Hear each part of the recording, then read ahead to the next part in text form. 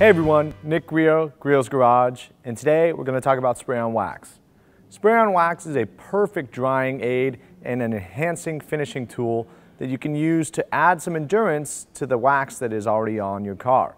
Now spray-on wax is not a true replacement for a paste or liquid wax application as those will have much higher concentrations of carnauba and have a lot more durability. However, with your routine maintenance, adding a little bit of carnauba wax back on top of your existing wax job is always a good idea and will help enhance your finish after every wash. Now, like I said before, this is really ideally used as a drying tool. After you've washed your car, removed all the excess dirt, and are getting ready to dry, simply spray spray-on wax on the already wet surface and dry as normal. This will leave behind a very thin layer of carnauba wax which will have some water beading characteristics, but primarily it's there to enhance your finish and increase the durability of your wax job. Spray-on wax can also be used on a perfectly clean car, such as the M3, which we've already cleaned and waxed as part of our normal routine.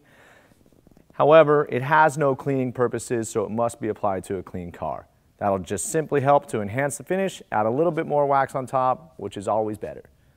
Thank you for watching. For more information on spray-on wax, be sure to visit griotsgarage.com. And as always, have fun in your garage.